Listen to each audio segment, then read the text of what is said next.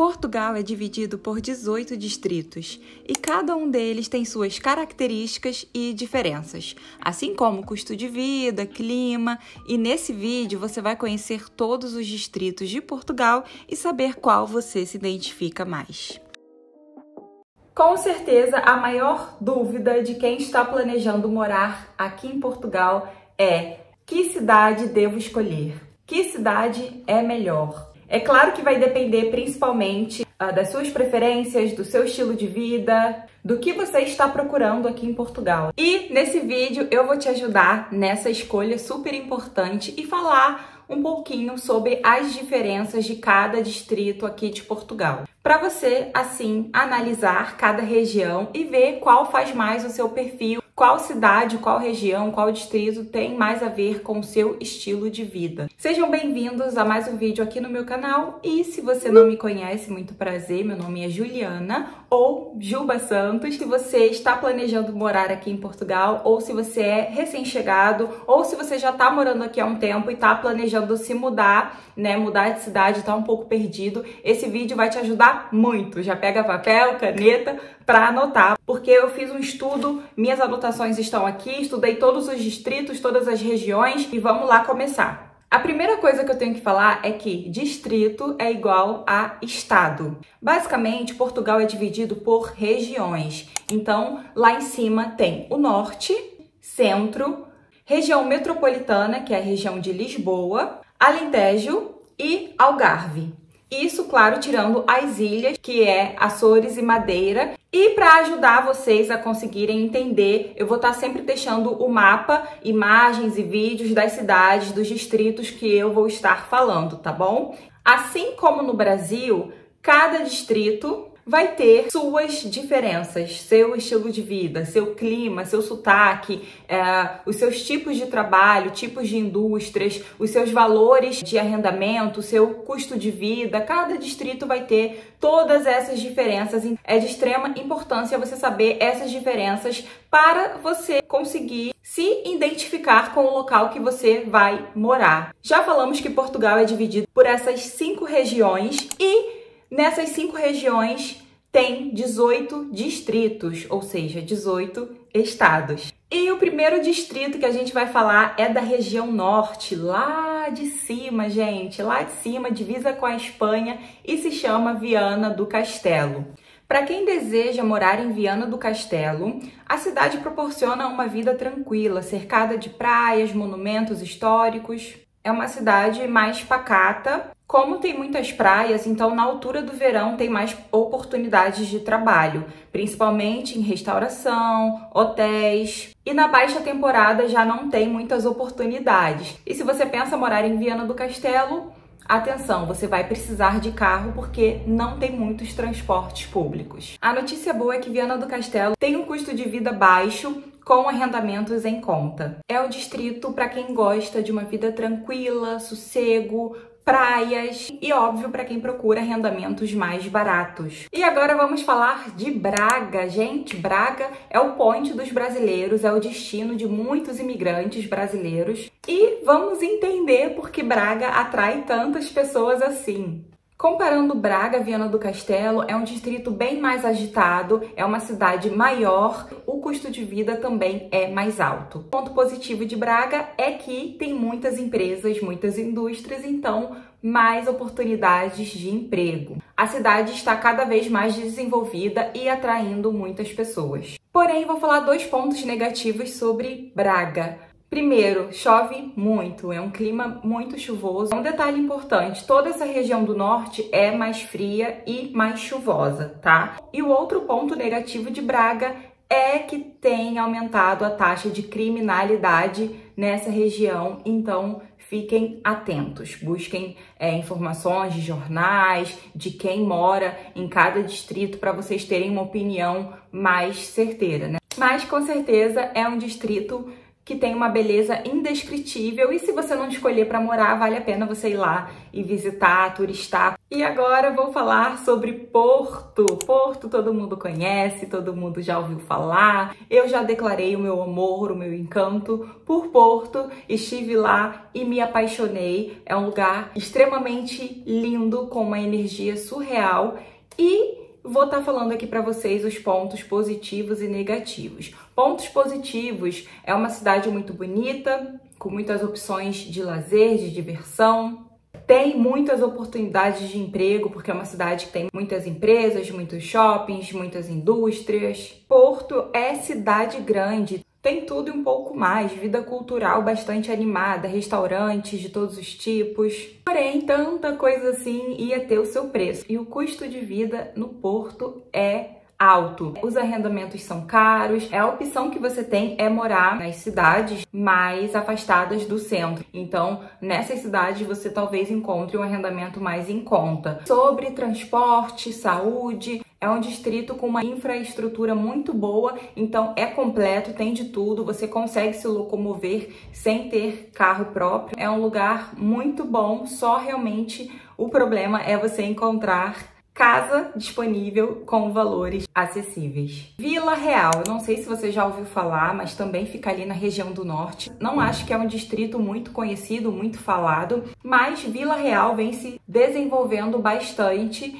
e pode ser uma boa opção para você. Apesar de ser considerado interior, Vila Real é uma cidade tranquila, segura, mas tem sua infraestrutura completa, tem zona industrial, universidade, shopping, transporte público.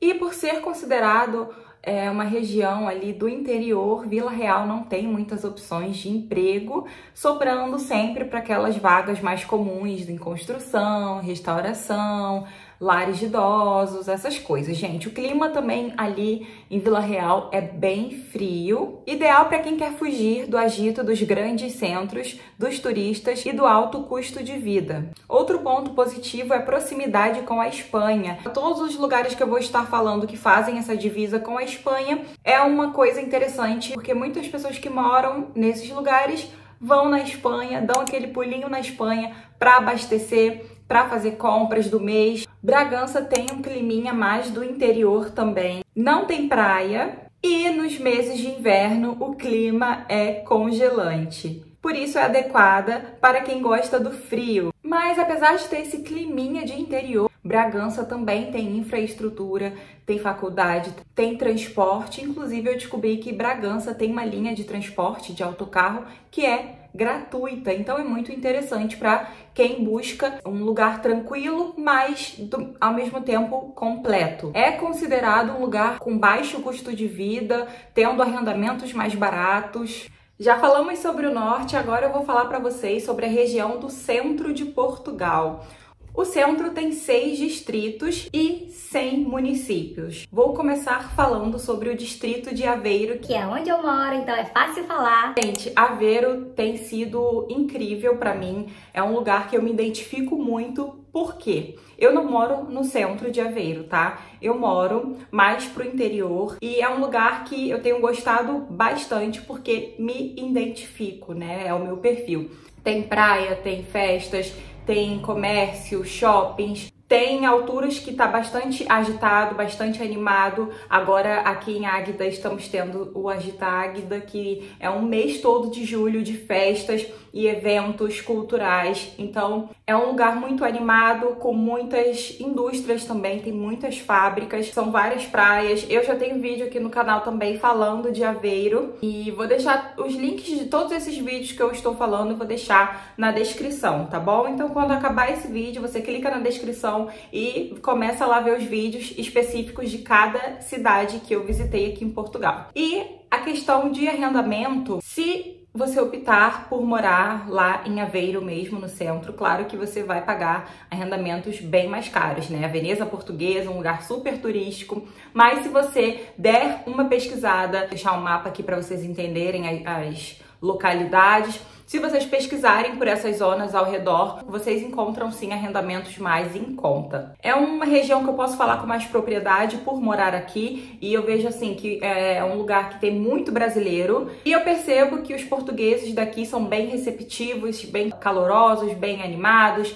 Então é por isso que é um lugar que eu gosto muito e indico se o seu perfil parece com o meu, se você gosta assim de uma vida mais agitada, é o lugar ideal, tá? Só saber pesquisar mesmo em relação a casa, arrendamento. Agora um distrito que todo mundo também conhece, que é Viseu. Gente, sério, todas as pessoas que eu conheço que já moraram em Viseu, moram ou visitaram, só tem coisas boas a falar. É um lugar que tem recebido também muitos imigrantes, muitos visitantes, é um lugar lindo e super completo. Das cidades do interior é a mais populosa, mas não chega perto da aglomeração de uma capital, por exemplo. E olha que legal, gente, eu não sabia disso, mas Viseu já foi considerado algumas vezes a melhor cidade portuguesa para se viver. Olha que interessante. Gente, eu quero fazer um convite a todos que moram aqui em Portugal ou já moraram para dar a sua opinião sobre a cidade que você mora ou já morou, que aí fica mais completo e você acaba ajudando outras pessoas que estão aí nessa pesquisa, tá bom? Então, se você mora ou já morou em Viseu, deixa aí seu comentário com a sua opinião falando sobre esse lugar. Coimbra. Morar em Coimbra é sinônimo de qualidade de vida. Os pontos positivos estão no trânsito, educação, saúde. É uma cidade mais agitada, com muitos eventos, boas opções de restaurantes, shoppings, comércio. É uma região universitária e infelizmente o custo de vida em Coimbra é um pouco mais alto, sim, não comparado, né, com os grandes centros. Eu já estive em Coimbra e tenho amigos que moram lá e eles gostam muito. É um lugar que eu achei também muito bonito, muito agitado, muito movimentado, muita gente na rua. Eu gostei, eu gosto dessa animação, né? Acho que vocês já entenderam.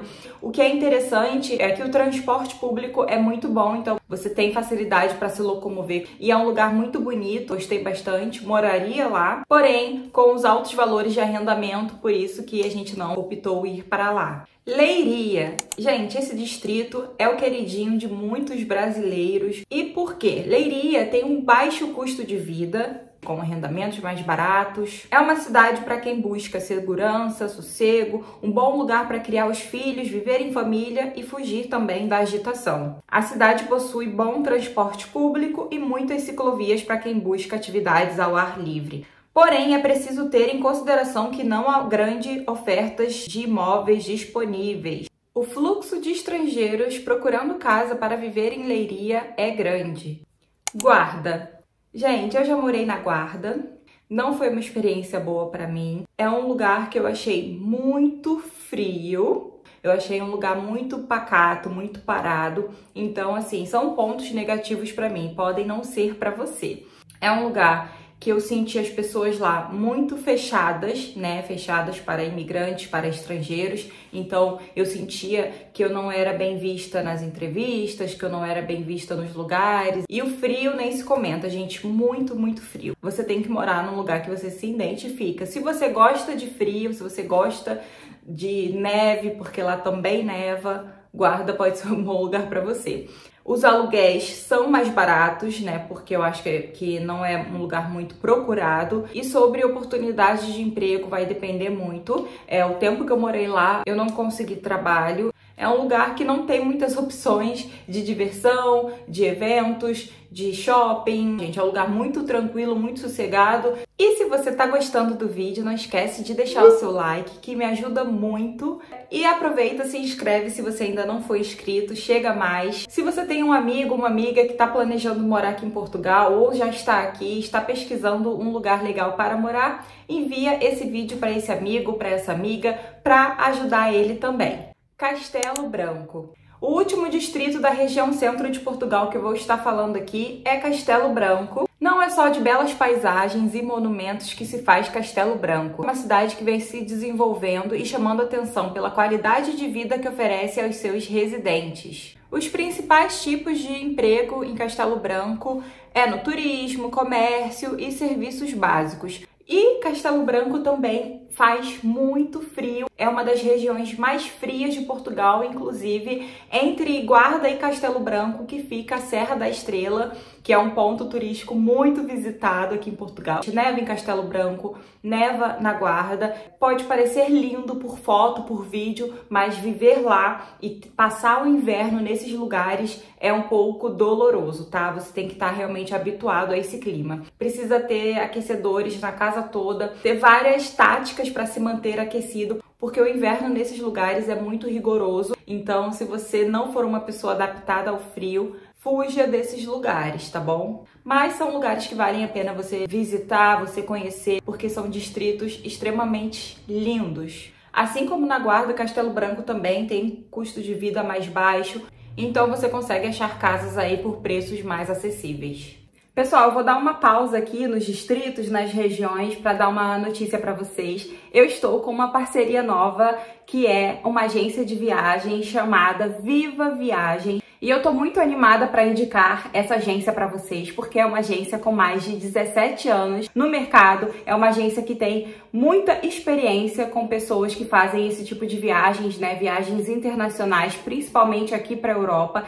É uma agência super confiável, com um atendimento excepcional, que pode te ajudar é, nesse processo, né, nesse planejamento. E nessa agência de viagem você consegue também um auxílio muito grande nessa parte de imigração. Se você está vindo já para morar, quer contar com a Viva Viagens, é a melhor escolha que você pode fazer. Na descrição e nos comentários vai estar o link que você conversa diretamente com a equipe. Principalmente para quem vai fazer uma primeira viagem assim internacional, é essencial ter uma agência cuidando dos detalhes para você, te auxiliando, te dando esse suporte. E a Viva Viagens pode te ajudar, pode te dar esse suporte.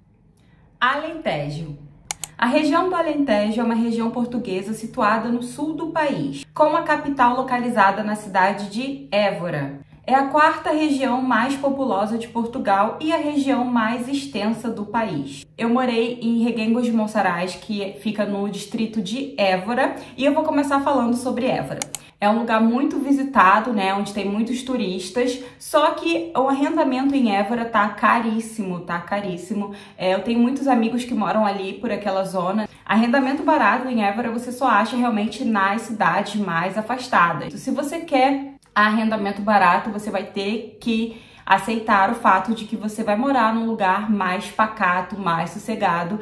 Tem esse lado ruim. Se você é uma pessoa tranquila, você vai se dar super bem com essas cidades mais afastadas, né, do interior. Porto Alegre. Porto Alegre, gente, não é muito comentada, muito falada. É uma região também muito pacata, um distrito muito tranquilo. Não tem muitas opções também de diversão, de entretenimento. Gente, o mais estranho é que eu não achei muitas informações sobre Porto Alegre, mas pelo que eu pude entender, é um lugar muito pacato e com poucas ofertas de emprego, de diversão, de entretenimento. Então, tome bastante cuidado se você escolheu Porto Alegre Alegre para morar. É um distrito que ainda está em desenvolvimento, então apesar de ter um custo de vida mais barato, você não vai achar com facilidade emprego e diversão.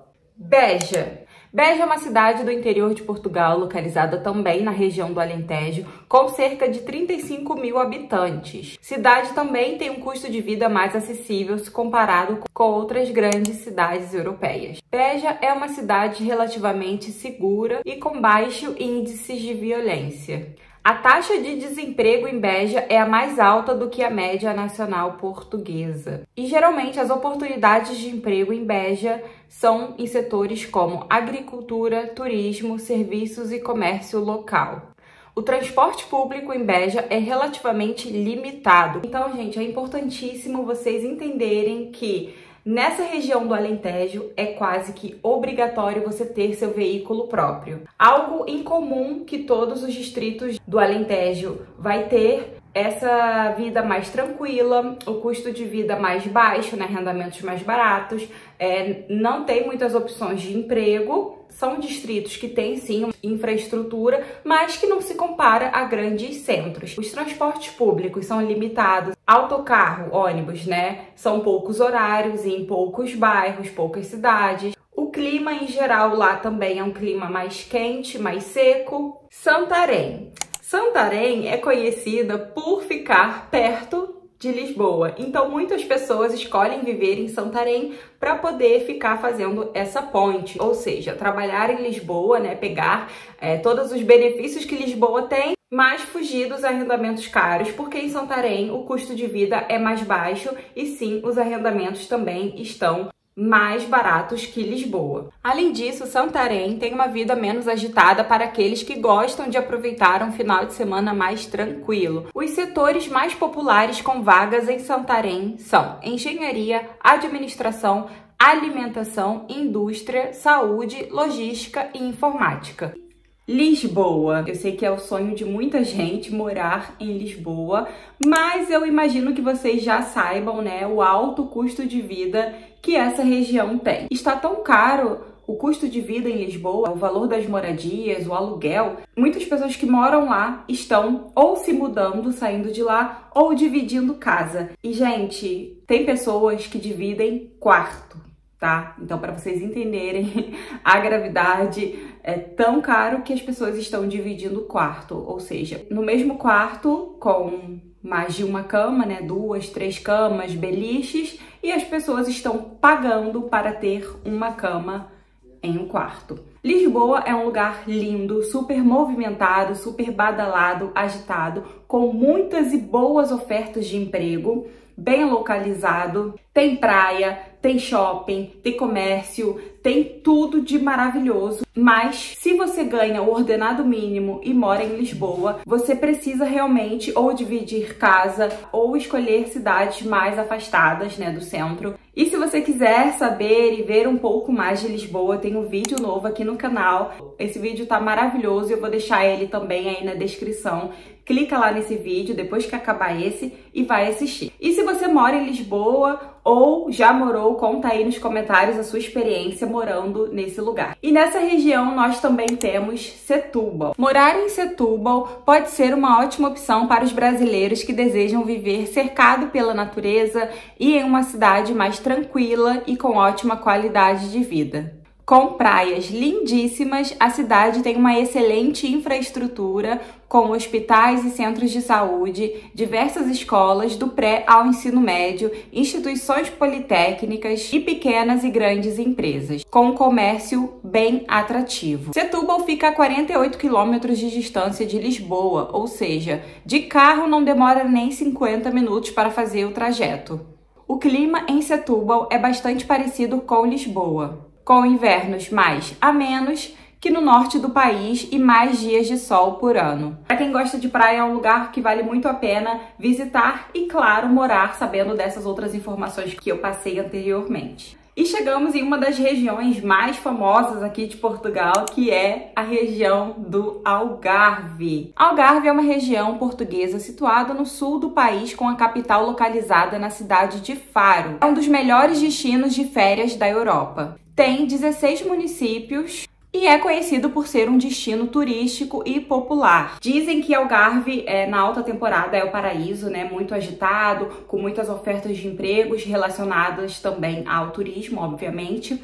Mas na baixa temporada, essa zona fica meio morta, né? Então a região de Algarve só tem um distrito que é Faro e conta com 16 municípios. É preciso considerar que morar em Faro é viver em uma cidade turística. O custo de vida lá é altíssimo, tanto de moradia, alimentação, no geral. Então, os pontos positivos de morar em Faro praias paradisíacas, temperaturas agradáveis, diversidade cultural, infraestrutura eficiente. E o ponto negativo é realmente as oportunidades de emprego estarem ligadas diretamente com o turismo. Então, na baixa temporada, não tem muitas oportunidades. Então, é mais interessante para quem já está indo com emprego ou para quem tem alguma formação específica que esteja em falta nesse distrito. E esses foram os 18 distritos de Portugal. Lembrando que cada distrito vai ter suas cidades, então foi um resumo geral sobre as regiões e sobre os distritos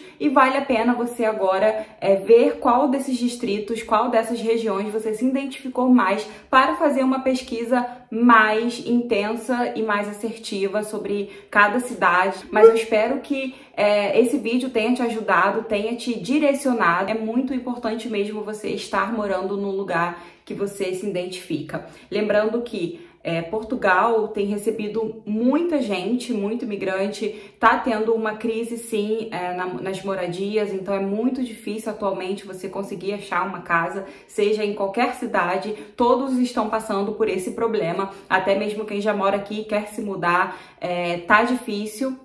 Ainda mais quando você é recém-chegado, sem documento. Então, assim, tem que ter calma, tem que ter paciência, tem que ter um bom planejamento. Portugal é um país pequeno se comparado ao Brasil como tá chegando muita gente a cada dia, fica cada vez mais escasso, né? Achar casa, achar emprego. Então tá difícil, mas é foco, persistência, paciência, fé. Não esquece de deixar o seu like que me ajuda muito e deixa aí nos comentários qual de, desses distritos você se identificou mais, qual dessas regiões faz mais o seu perfil. Muito obrigada se você assistiu até aqui. Grande beijo e tchau, tchau.